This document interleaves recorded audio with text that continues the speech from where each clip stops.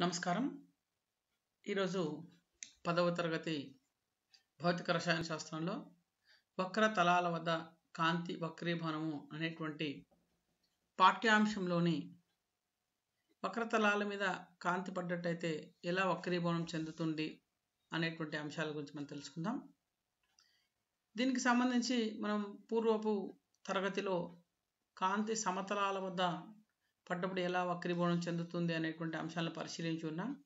వాటిని ఒకసారి మనం పునశ్చరణ చేసుకుందాం. చూడండి పరిశీలించండి ఇక్కడ స్క్రీన్ మీద మీకు ఏం కనిపిస్తుంది? ఎస్ ఒక గ్లాస్ ఉంది. అందులో కొన్ని నీళ్ళు పోస్తున్నాయి. ఇంకా అందులో ఒక పెన్సిల్ ఉంచబడి ఉంది. మరి ఆ పెన్సిల్ ఎలా ఉంది? వంగినట్టు కనిపిస్తోంది. దీనికి కారణం ఏమిటి? మనం ఇది అంశాన్ని తొమ్మిదవ తరగతిలో చర్చించి ఉన్నాం. రైట్ మీరు ఊహించినట్టుగా కాంతి వక్రీభవనమే దీనికి కారణం. ఇక్కడ కాంతి మనకు కంటికి కనిపించేటువంటి ఈ పైన ఉండేటువంటి పెన్సిల్ పై భాగము కనిపిస్తుంది. మనకి ఇది గాలి అనే యానకంలో ఉంది. ఈ లోపటి భాగము నీరు అనేటువంటి యానకంలో ఉంది. అంటే కాంతి గాలి అనే విరళ యానకంలో నుంచి నీరు అనేటువంటి సాంద్రతల యానకంలోనికి ప్రయాణం చేసింది కాబట్టి ఈ రెండు యానకాలలో కాంతి వేగం వేరువేరుగా ఉంటుంది కాబట్టి ఇక్కడ పెన్సిల్ మనకి వంగినట్టుగా కనిపిస్తుంది. ఇంకా కొన్ని అంశాలను మనం పురస్చరణ చేసుకుందాం. చూడండి. ఇక్కడ గమనించండి. ఇక్కడ కూడా ఒక ట్రే తీసుకొని మనం అందులో ఒక నాణాన్ని వేసినట్టయితే అది మనకు కనిపించదు. దాంట్లో కొన్ని నీళ్ళు పోసినట్టయితే కొద్దిగా పైకి లేచినట్టుగా మనకు కనిపిస్తుంది. దీనికి కూడా కారణం ఏంటి? ఇక్కడ కూడా కాంతి గాలిలో నుంచి నీటిలోనికి ప్రవహిస్తుంది కాబట్టి ఇక్కడ ఒక కాంతి వక్రీభవనం అంటే ఇక్కడ ఎక్కడైతే రెండు యానకాలు కలుస్తున్నాయో ఆ యానకాల సరిహద్దు వద్ద వంగినట్టుగా వస్తువు మనకు కనిపిస్తూ ఉంటుంది. అందుకే ఇక్కడ మనకి ఈ నాణము పైకి లేచినట్టుగా కనిపిస్తుంది. సో ఇది కూడా వక్రీభవనానికి ఒక ఉదాహరణగా మనం చెప్పుకోవచ్చు. దీన్ని మనం ఈ దృగ్విషయం వక్రీభవనం కిందికి వస్తుంది. చూడండి ఇంకా గమనించండి మీకు ఇక్కడ చూడండి ఇది ఒక సాంద్రతర యానకం. ఇది నీరు అనే లేదా సాంద్రతర యానకం. చూడండి ఇక్కడ పైన ఉన్నటువంటిది ఇదంతా కూడా ఒక విరళ యానకం. చూడండి ఈ రెండు యానకాలను వేరు చేసేటువంటి తలం ఇది. ఈ గీతకు పై భాగంలో ఉండేటువంటిది ఒక యానకం కింది భాగంలో ఉండేటువంటిది ఇంకొక యానకం. చూడండి ఇక్కడ ఈ రెండు ఈ రెండు తలాలకి మరి ఈ స్థలాల సరిహద్దులను వేరే చేసేటువంటి దాని గుండా ఒక మనం ఏం చేసాం ఇక్కడ? ఒక నార్మల్ ఒక లంబాన్ని గీసాం చూడండి ఒక లంబాన్ని గీసాం చూడండి ఇది ఎన్ఎన్ అనేది ఒక లంబం. చూడండి ఇప్పుడు ఇందులో కాంతి వేగం అంటే విరళయానకంలో ఒక కాంతి వేగం తీసుకున్నప్పుడు వి వన్ అదేవిధంగా సాంద్రతర యానకంలో కాంతి వేగము వి టూగా ఉంది. ఇందులో యానకం కాంతి వేగం ఎందులో ఎక్కువ ఉంటుందో ఊహించండి. విరళయానకంలో వేగం ఎక్కువగా ఉంటుందా కాంతికి? సాంద్రతర యానకంలో వేగం ఎక్కువగా ఉంటుందా ఊహించండి. రైట్ ఇప్పుడు చూడండి ఒక కాంతి కిరణము ఎక్కడి నుంచి వచ్చింది? విరళ యానకంలో నుంచి వచ్చింది. ఈ రెండు యానకాలను వేరు చేసేటువంటి తల దగ్గర పడింది. మరి ఈ కాంతి కిరణము ఎలా వెళ్తుంది? ఇది మనం తొమ్మిదో తరగతిలో చదివి ఉన్నాం ఆల్రెడీ చూడండి యాక్చువల్గా అయితే ఇది ఈ విధంగా వెళ్ళాలి. అంటే మన ఈ కాంతి కిరణము రెండు యానకాల యొక్క వక్రీభవన గుణకాలు సమానమైనట్టయితే ఈ విధంగా నేరుగా వెళ్ళాలి. ఒక సరళ రేఖలో. కానీ అలా వెళ్ళట్లేదు. ఎందుకంటే ఇక్కడ ఇది విరళ యానకము ఇది సాంద్రతర యానకము. యానకాల్లో తేడా ఉంది. మరి విరళ యానకంలో ఎక్కువ వేగం ఇక్కడ తక్కువ వేగం ఉంటుంది కాబట్టి మరి ఇది ఖచ్చితంగా వంగి ప్రయాణం చేస్తుంది. మరి వంగి ప్రయాణం చేసేటప్పుడు ఎటువైపు వంగుతుంది అనే సమస్య. ఇప్పుడు చూడండి యాక్చువల్గా ఇది రావాల్సినటువంటి మార్గం ఇది. ఈ మార్గము నుంచి కిందికి వంగితే అంటే లంబానికి ఆకర్షించేట లంబం వైపు వంగుతుందా లంబం నుంచి అటువైపు వంగుతుందా అనే సమస్య ఇక్కడ. సో చాలా ఇంపార్టెంట్ ఇది. మనకు పది తరగతులు పై తరగతులు కూడా ఇవి చాలా ఉపయోగపడుతూ ఉంటాయి. కాబట్టి మరి ఈ విధంగా విరళ యానకంలో నుంచి సాంద్రత యానకంలోకి వచ్చింది కాబట్టి కాంతి వేగం ఇందులో తక్కువ ఉంటుంది కాబట్టి ఈ కిరణము లంబం వైపు వంగి ప్రయాణం చేస్తుంది ఈ విధంగా. చూసారా? ఈ విధంగా లంబం వైపు వంగి ప్రయాణం చేసింది. మరి అలాగే సాంద్రతల నుంచి విరళకి వెళ్తే ఎలా వెళ్తుందో మీరు ఒకసారి ఊహించండి. చూడండి ఈ విధంగా దీని యొక్క మార్గం ఈ విధంగా వచ్చింది. విరళ యానకంలో నుంచి సాంద్రతల యానకం. ఇంకొక అంశాన్ని పరిశీలన చేద్దాం. చూడండి ఇప్పుడు చూడండి. ఇంతకు ముందులాగా సేమ్ సాంద్రత యానకం కిందకి వైపు వెళ్ళ యానకాన్ని తీసుకున్నాం. చూడండి లంబం గీసుకున్నాం. వి వన్ అనేది ఇప్పుడు సాంద్రతర యానకం యొక్క వేగం వి వన్ తీసుకున్నాం. సాంద్రతర యానకంలో కాంతి వేగం. అంటే ఇక్కడ విరళ యానకంలో కాంతి వేగం వి టూ ఏది ఎక్కువగా ఉంటుంది? వేగం ఎక్కువ అంటే వి టూలో ఎక్కువ ఉంటుంది. వివన్లో తక్కువగా ఉంటుంది ఇక్కడ. వి వన్ తక్కువ. ఇప్పుడు కాంతి కిరణం ఏ యానకంలో నుంచి ఏ యానకంలోనికి ప్రయాణిస్తుంది ఊహించండి. ఎగ్జాక్ట్లీ నిజంగా ఇక్కడ కాంతి కిరణం మన పరిశీలన అనేటువంటిది సామాన్య శాస్త్రంలో చాలా ఇంపార్టెంట్ ఇక్కడ కాంతి కిరణము సాంద్రత యానకం అంటే ఈ యారో మార్కును బట్టి చెప్పవచ్చు మనకి. ఈ బాణం గుర్తును బట్టి ఏ యానకంలో నుంచి ఏ యానకంలోనికి వెళ్తుందో చెప్పవచ్చు. కాబట్టి కాంతి కిరణము సాంద్రతర యానకంలో నుంచి విరళ యానకంలోకి వస్తుంది. చూడండి యాక్చువల్గా వెళ్ళాల్సినటువంటి పథం ఇది. దీని మార్గం సరళ రేఖలు వెళ్ళాలి. రెండు సమానమైనట్టయితే. ఈ విధంగా వెళ్ళాలనుకుంది. కానీ మరి ఆ విధంగా వెళ్తుందా? వెళ్ళదు. ఎందుకు అంటే రెండు యానకాల యొక్క వక్రీభవన గుణకాల్లో తేడా ఉంది కాబట్టి. మరి ఇది ఎలా వెళ్తుంది? అంటే ఈ కాంతికిరణము యాక్చువల్గా వెళ్ళాల్సిన పొజిషన్ ఇది. మరి లంబం వైపుకు వంగి ప్రయాణం చేస్తుందా? లంబానికి బయట వైపు ప్రయాణం చేస్తుందా? అంటే ఇటువైపు వేగం ఎక్కువ సాంద్రతల యానకంలో వేగం తక్కువ విరళ యానకంలో వేగం ఎక్కువ. కాబట్టి ఇది వంగడం అంటూ జరిగితే ఈ నార్మల్ నుంచి బయటికి అంటే లంబం నుంచి బయటి వైపుకి వంగుతుంది. చూడండి. లంబంకి బయటి వైపుకి వంగి ప్రయాణం చేస్తుంది. ఓకే? లంబం నుంచి దూరంగా వంగి ప్రయాణం చేస్తుంది. ఒకవేళ సాంద్రతర నుంచి విరళ అయితే లంబం నుంచి దూరంగా ప్రయాణం చేస్తుంది. ఇంతకుముందు చెప్పుకున్న విధంగా విరళయానకంలో నుంచి సాంద్రతర అన్నప్పుడు లంబం వైపు అవుతుంది. జాగ్రత్తగా ఇవి చాలా ముఖ్యమైనటువంటి అంశాలు. సో కాబట్టి ఈ విధంగా కాంతి కిరణము ఈ వక్రీభవనం చెందడం వక్రీభవనం అనేటువంటి దృగ్విషయం అనేటువంటిది ఏ యానకంలోనికి ఏ యానకంలోనికి వెళ్తుంది అనేటువంటిది పరిశీలించడం అనేటువంటి చాలా ముఖ్యం. విరళ యానకంలో నుంచి సాంద్రత యానకంలోకి వెళ్తుందా? సాంద్రతలో నుంచి విరళ యానకంలోనికి వస్తువు వెళ్తూ కాంతికిరణం వెళ్తుందా? చూడాలి. ఇంకొక సందర్భాన్ని గమనిద్దాం. చూడండి. వెరీ గుడ్ సాంద్రత యానకం ఉంది. విరళ యానకం వచ్చింది. ఇప్పుడు చూడండి. వి వన్ వి టూ విరళ యానకంలో వేగం వి వన్ సాంద్రత యానకంలో వేగం వి టూ ఇప్పుడు కాంతి కిరణం ఎలా ప్రయాణం చేయాలి? పతన కిరణం ఇది. వక్రీభవన కిరణం ఈ విధంగా వంగి ప్రయాణం చేసేది. ఇంతకుముందు మనం చెప్పుకున్నాం ఈ అంశాన్ని ఇక్కడ చూడండి. ఇది ఐ.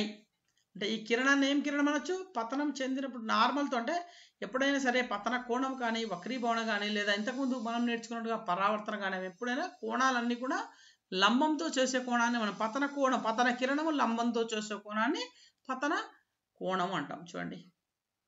పతన కోణం. ఇక్కడ వక్రీభవనం చెందినటువంటి కిరణం కూడా లంబంతో కొంత కోణం చేస్తుంది. గమనించండి ఇక్కడ. దీన్ని మనం ఏమంటాం?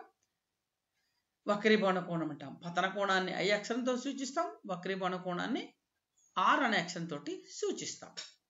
మై డి స్టూడెంట్స్ రాబోయేటువంటి వీడియోని జాగ్రత్తగా పరిశీలించండి. ఇందులో ఒక మ్యాజిక్ దాగి ఉంది. చూడండి. ఆ మ్యాజిక్ ఏంటో మీరు పరిశీలన చేయవలసినటువంటి అవసరం ఉంటుంది. ఆ మ్యాజిక్ ఏంటనేది మీరు పరిశీలన చేయవలసినటువంటి అవసరం ఉంటుంది. చూడండి. ఇక్కడ ఏం కనిపిస్తున్నాయి మీకు? ఇది ఫన్ విత్ ట్రాష్. చూడండి. ఇక్కడ మనకు కావాల్సినటువంటి పరికరాలు తీసుకున్నప్పుడు ఒక రెండు బాణము గుర్తులు గీసినటువంటి ఒక పేపరు ఒకటి ఇంకొక గ్లాస్ ఉంది. అదేవిధంగా చేపల గుర్తులు రెండు చేపల గుర్తులు గీసినటువంటి గుర్తులు ఉన్నటువంటి ఒక కాగితము. ఇవి నీటితో ఉన్నటువంటి ఒక use and throw water cup తీసుకున్నాం. ఇవి మనకు ఈ యాక్టివిటీ ఈ కృత్యాన్ని నిర్వహణ చేయడానికి కావాల్సినటువంటి వస్తువులు. ఇప్పుడు గమనించండి. ఇక్కడ ఏం గమనిస్తున్నారు మీరు? ఒక పేపర్ మీద రెండు బాణం గుర్తులు ఉన్నాయి. చూడండి. దాన్ని తీసుకెళ్ళి అలా ఒక గోడకు అలా పెట్టండి. ఇప్పుడు చూడండి. ఒక ట్రాన్స్పరెంట్ అంటే మొత్తం అటు రెండు వైపులా కనిపించే విధంగా ఉండేటువంటి ఒక ట్రాన్స్పరెంట్గా ఉండేటువంటి ఒక గ్లాసుని తీసుకొని దాంట్లో ఇప్పుడు చూడండి గమనించండి ఏం కనిపిస్తున్నాయి? రెండు బాణం గుర్తులు ఒకేసారి ఉన్నాయి.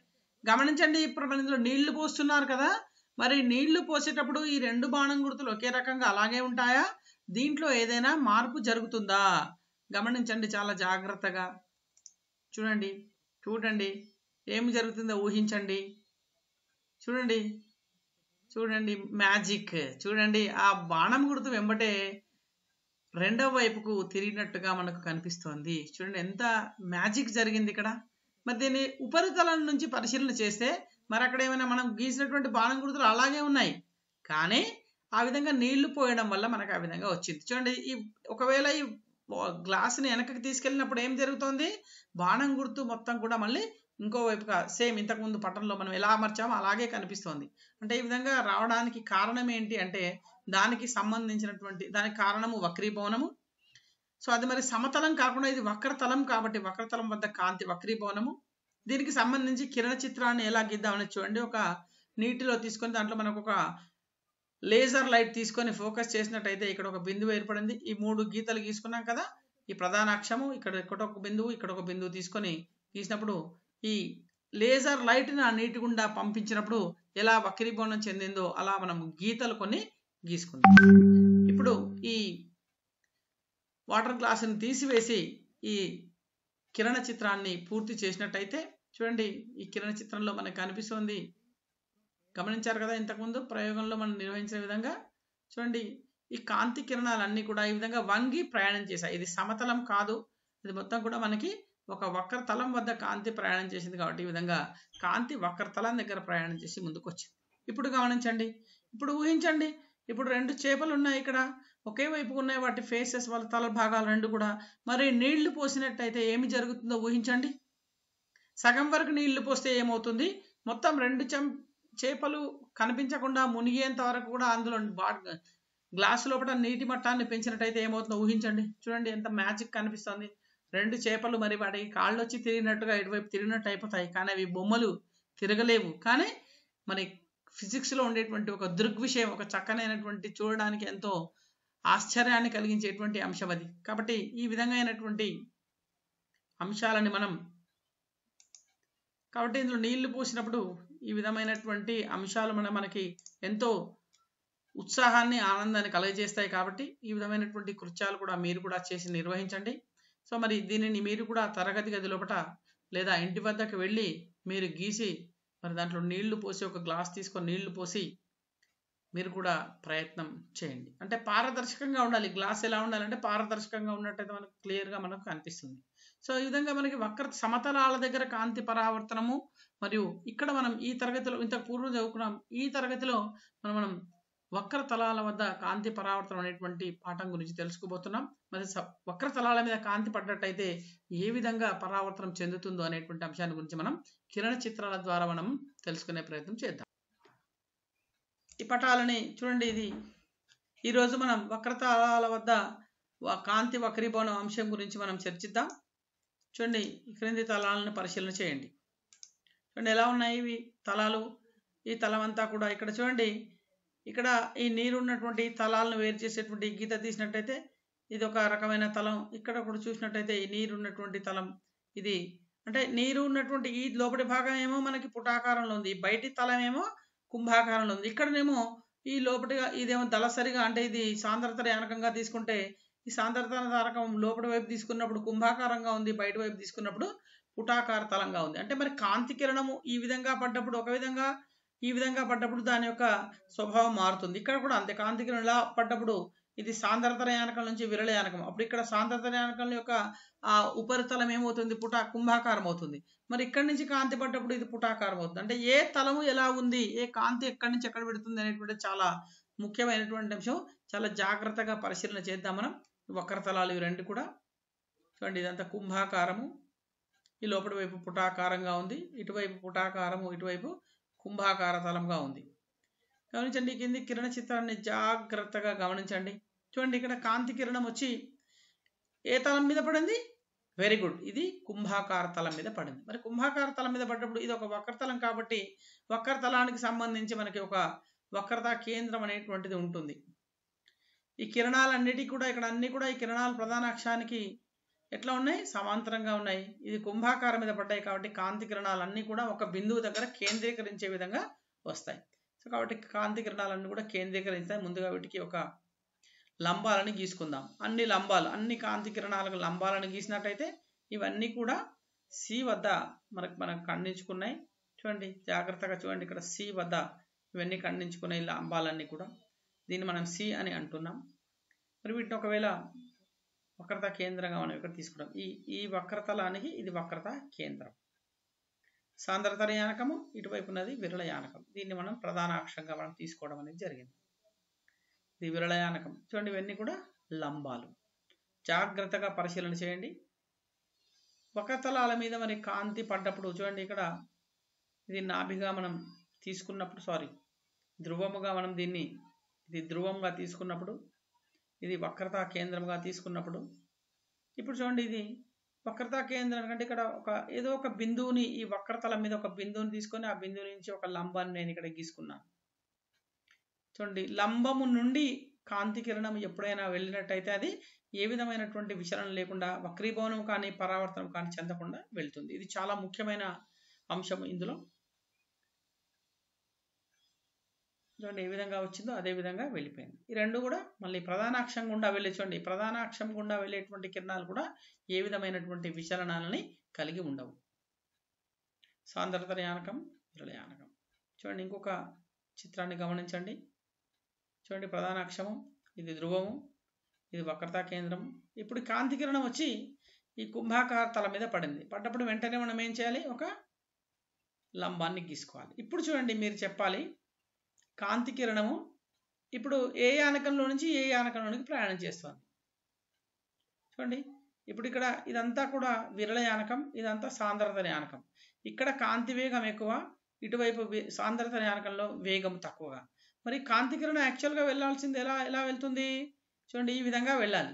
మరి ఇప్పుడు ఏ విధమైన విచలనం లేకపోతే ఈ విధంగా వెళ్ళాలి. కానీ ఇప్పుడు విరళ యానకం నుంచి సాంద్రత యానకంలోకి వచ్చింది. కాబట్టి కాంతి కిరణం ఇందులో మరి ఎటువైపుకు? లంబం వైపుకు వంగుతుందా లంబానికి దూరంగా వెళ్ళి ప్రయాణం చేస్తుందా?